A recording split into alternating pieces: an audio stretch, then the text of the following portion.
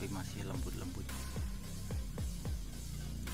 Oke cukup kita video saja. Kita ambil momen saja ya. Tunggu sampai mereka besar-besar dulu. Kasihan masih lembut soalnya. Itu paling baru sekitar usia satu bulan lebih sedikit. Tak sanggung dari tadi jagonya sama babonya. Gak ada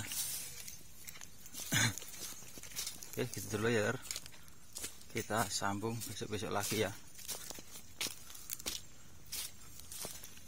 Semoga besok bisa poin.